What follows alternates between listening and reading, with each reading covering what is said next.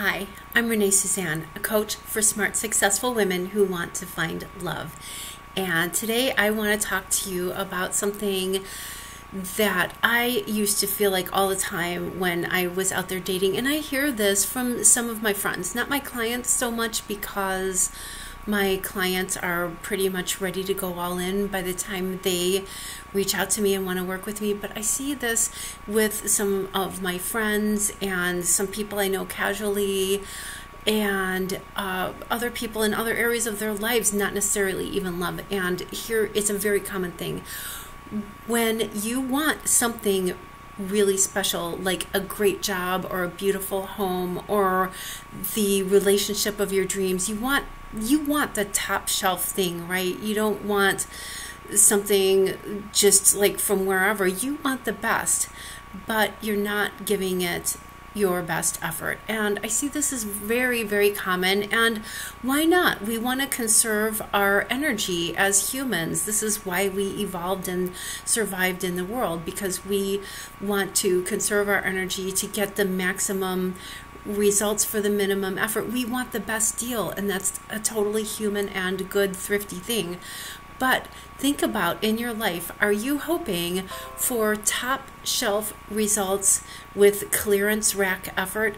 Because that's really most of the time not going to do it. You're not going to get the best result you can with minimal or no effort. It's the ones the, the great things, the really amazing things in life don't just happen to you because you fell out of bed that day. You're going to have to show up if you want a great life, if you want great love.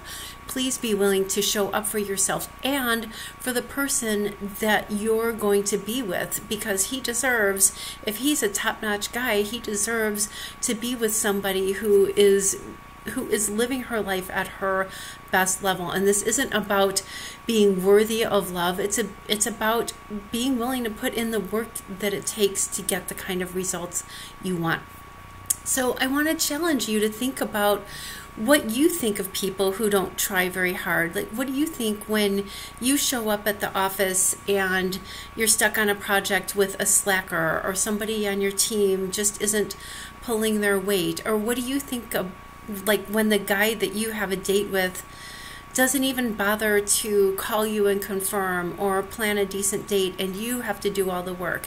What do you think about the people who don't try that hard, who just kind of don't care? Do you have a high opinion of those people?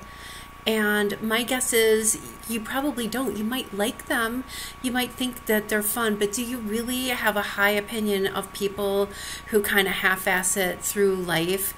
And I'm not talking about like complete manic overachievers, but don't you respect people who show up for you, for themselves, and do the best they can? And I'm going to guess that's a yes. It sure is for me. And my husband is amazing, and he really does do his best at everything he does. And I just love to see that in people, and I really respect people like that. And I bet you do too. So, what could you have if you went all in on finding love? What could you have? What kind of relationship do you want? And if you went all in, you would just massively increase your chances of actually having it if you actually tried if you tried in a way where you weren't kind of like just tossing your profile online and seeing what happened or just hoping maybe you'd meet somebody these days or that saying that drives me nuts about how it happens when you least expect it. Well, maybe it does, but if you've been waiting a while, I wouldn't bank on that one. Be willing. This is the love of your life. This is a big deal. This is important it's having a great marriage is really awesome. Trust me, I can tell you it's worth every bit of effort that it takes to do it and I'm so glad I did and you will be too. So what would you what would you be able to have if you went all in? I would love to see you go all in. Thank you so much for watching today. If you liked this video, subscribe to my YouTube channel and head over to Renee SuzanneCoaching.com to get my free gift to help you find love. Thanks.